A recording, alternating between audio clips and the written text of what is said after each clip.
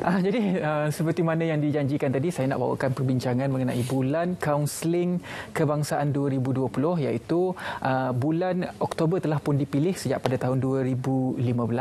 Jadi banyak sebenarnya pengisian bulan kaunseling apabila kita bercerita mengenai kaunseling ini mesti kita akan terlintas uh, bagaimana kita nak uh, orang kata macam berbicara dengan seseorang itu merupakan salah satu seni kaunseling sebenarnya. Uh, jadi bersama dengan saya sekarang adalah Datuk Dr. Abdul Halim Muhammad Hussein iaitu Presiden Presiden Persatuan Kaunseling Malaysia Antarabangsa Perkama International. Selamat datang ke Selamat Pagi Malaysia Datuk. Terima kasih, terima kasih. Uh, jadi seperti mana yang kita fahamkan uh, bulan kaunseling kebangsaan 2020 ini telah pun uh, orang kata uh, dipilih pada tahun 2015.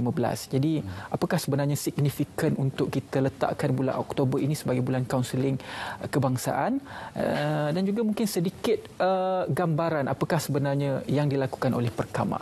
Okey, terima kasih Dara Ridwan dan kepada semua pendengar.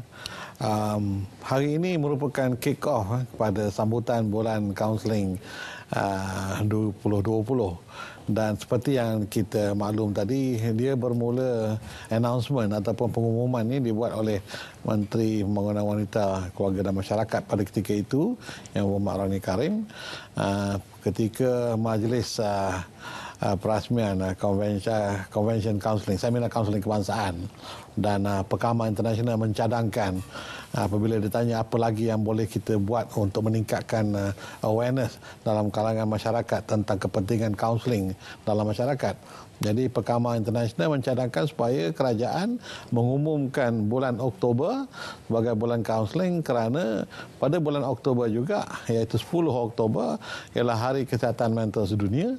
Dan uh, oleh kerana kaunseling adalah bidang yang berkaitan dengan kesihatan mental jadi kita rasa lebih baik kita bersama dengan uh, organisasi di dunia untuk sama-sama kita berkongsi semangat uh, menjayakan program-program yang bersifat uh, kesihatan mental ini. Hmm, dan kalau kita lihat juga ini antara aktiviti bulan kaunseling kebangsaan yang mana telah dipaparkan di KCTV sebentar tadi itu sebahagian.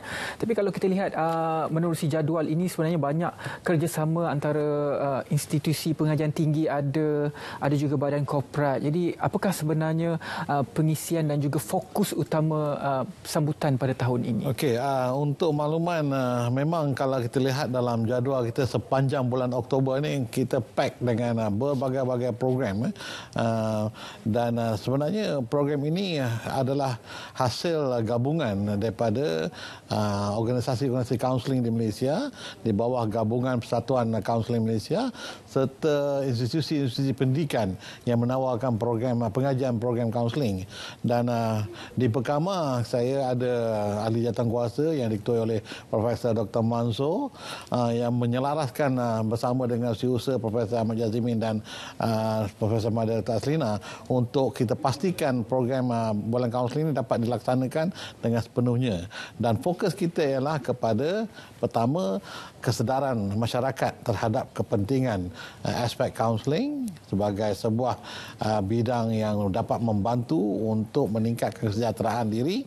Yang keduanya uh, uh, peningkatan uh, kesedaran kepada peningkatan kecekapan hmm. dalam uh, kalangan pengamal-pengamal kaunseling sebab itu kita ada banyak seminar uh, forum bengkel dan juga uh, discussion ya, yang membolehkan uh, pengamal-pengamal kita menimba ilmu lagi dan seterusnya kita juga meraihkan pelajar-pelajar yang counseling scholars eh, yang sekarang ni mengambil ijazah sarjana muda dalam bidang counseling dan juga masters untuk turut sama eh, meraihkan uh, sambutan ini dengan uh, mengadakan pelbagai aktiviti yang relevan dengan perjalanan mereka sebagai seorang sarjana dalam bidang ini. Hmm, dan juga uh, tema yang dipilih adalah rahmah untuk semua.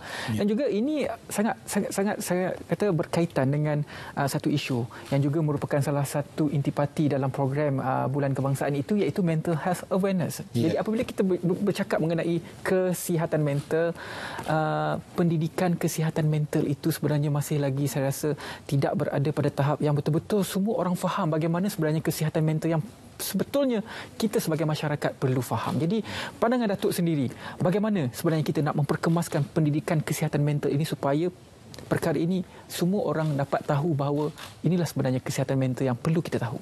Ya, uh, bila kita bercakap soal kesihatan mental, memanglah uh, ada beberapa kekeliruan dalam kalangan masyarakat kita kerana dia membabitkan mental itu seolah-olah sebuah penyakit. Kan? Padahal uh, kesihatan mental bermakna Uh, keadaan di mana kita menjaga kesejahteraan emosi kita, kesejahteraan pemikiran kita agar kita dapat berfungsi dengan baik. Ya. Uh, sebab itulah bila kita kata awareness ini ataupun kesedaran ini, uh, kesedaran ini sebenarnya membawa masyarakat untuk menguruskan dirinya supaya mereka tampil ke hadapan dan supaya mereka tidak merasa dengan memaklumkan kepada seseorang yang berpengetahuan dalam bidang bukan satu perkara yang boleh membawa malu kepada diri sendiri. Kalau dulu mungkin uh, it's tabu uh, untuk menyatakan dia ada uh, masalah kemurungan, dia ada kebimbangan, seolah-olah dia tak dapat menguruskan diri sendiri.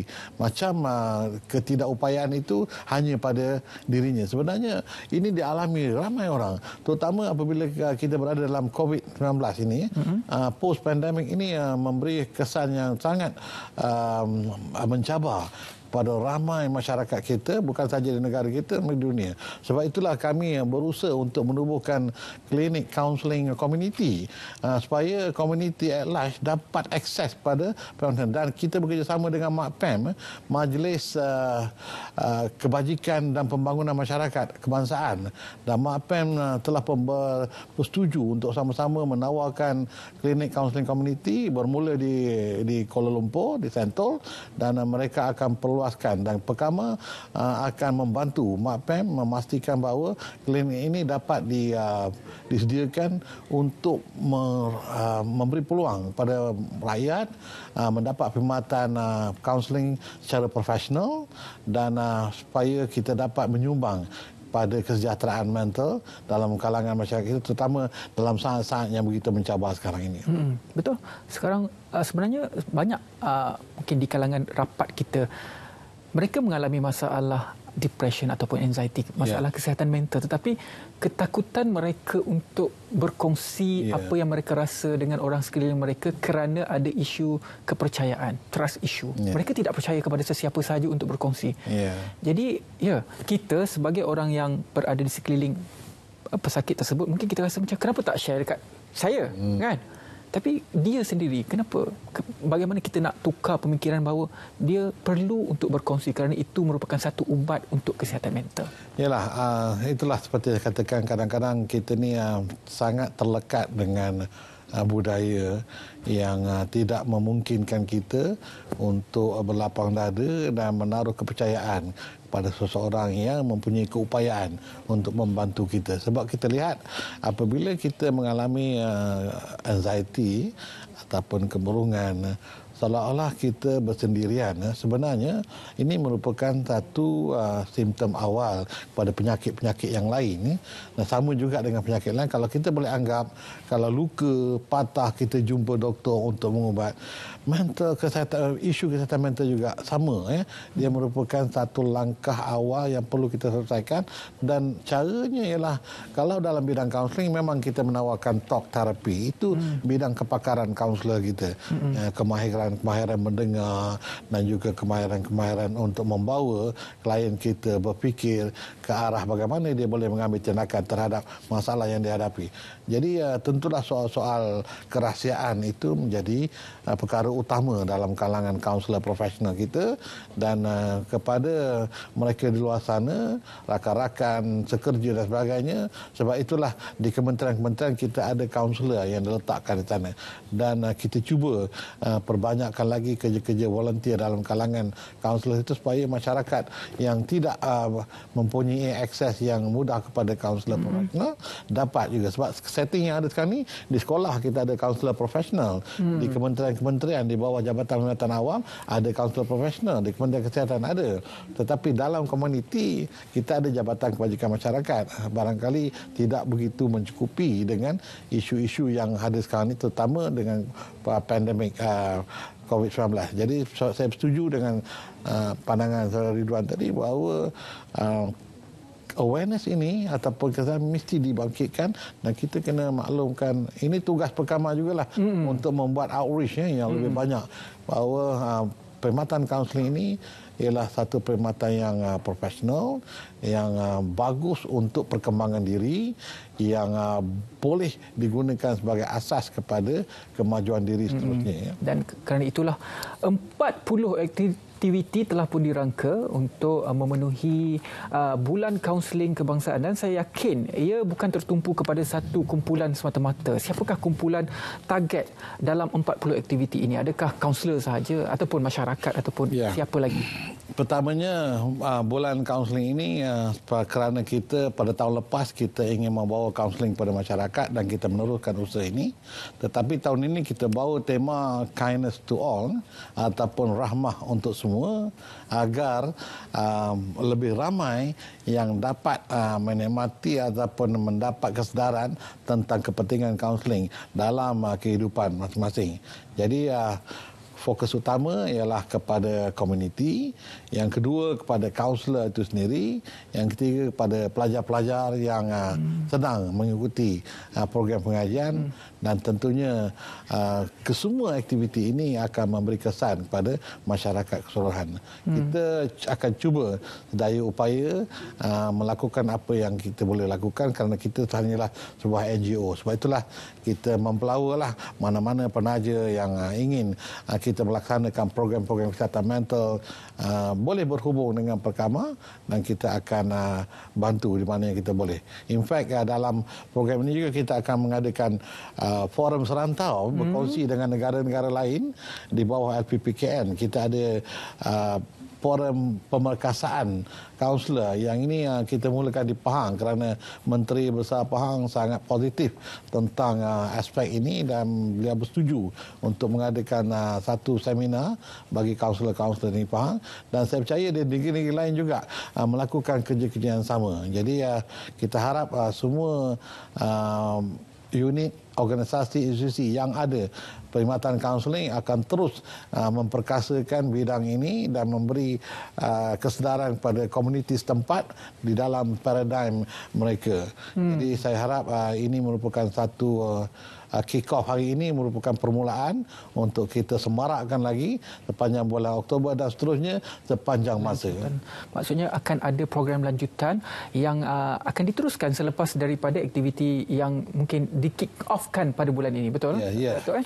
Uh, hari ini merupakan uh, hari ini 1 Oktober uh, setiap tahun merupakan digazetkan diletakkan sebagai hari hari, hari warga emas. Saya, saya, saya, saya tak tak tak tak lengkap kalau saya tak tak sentuh tentang bagaimana uh, kesihatan mental untuk warga emas. Ya. Kerana apa? Menurut kajian yang dilakukan satu per sepuluh warga emas diabaikan kesihatan mentalnya. Maksudnya di sini pada saya mungkin uh, pendidikan terhadap kesihatan pendidikan terhadap anak muda untuk mendidik dan juga memberi kesihatan mental yang bagus kepada warga emas itu merupakan satu Itulah. isu itu asasnya kindness kan? hmm. kiranya anak muda ini mempunyai sifat rahmah kindness ini anak muda ini akan dapat uh, menghayati apa yang dilalui oleh mereka yang warga emas. Saya kira kalau warga emas ni umur berapa? 60. 60 sekarang 60. diletakkan. Jadi saya duduk atas. dalam golongan itulah. Pasal saya 62 tahun kan. Ha.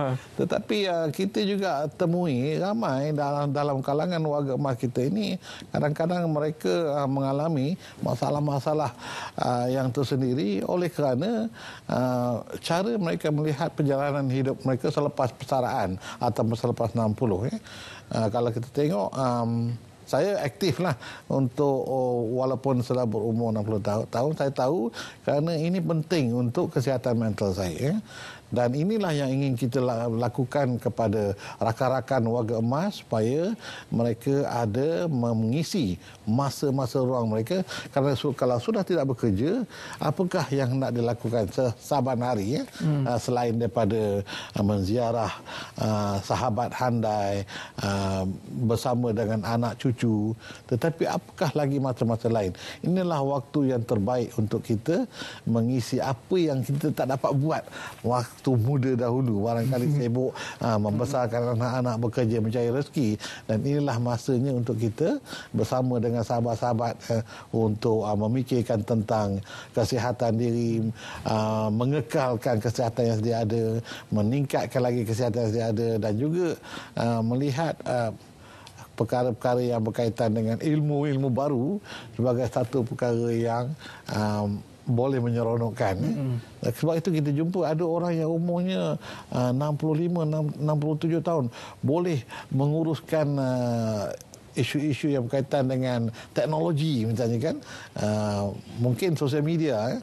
sebab selalunya bila umur 60 uh, saya dah tua bagi orang lain lah ya so uh, ini uh, menyebabkan kita menjadi non produktif. Hmm. Jadi saya rasa um, anak-anak muda uh, perlu juga belajar memahami bagaimana perasaan orang-orang dewasa. Betul. Sebab kadang-kadang kalau tidak difahami mereka akan mengajuk. Hmm. Contohnya bila dah dewasa telinga tak apa dengar. Betul. Jadi bila tanya-tanya cakap apa ah, sangat marah betul. sangat ke. Betul Datuk. Ah. Uh, Datuk macam mana kalau ada anak-anak kita ada parenting skill. Yeah. Jadi sekarang macam mana orang muda macam saya ni yeah. nak belajar untuk uh, skill memahami uh, orang warga emas yang lebih daripada 60 tahun. Jangan itu cepat. satu konten yang akan dimasukkan mungkin ya, pada tahun depan ya, ya, atau mungkin di bawah perekaman nanti. Apapun terima kasih banyak-banyak ya. kepada Datuk Dr. Abdul Halim Muhammad Hussein, Presiden Persatuan Kaunseling Malaysia Antarabangsa Perkaman Internasional berkongsi bagaimana pengisian bulan kaunseling kebangsaan dan juga kesihatan kesedaran kesihatan mental di Malaysia. Baiklah. Selepas ini uh, kita berehat seketika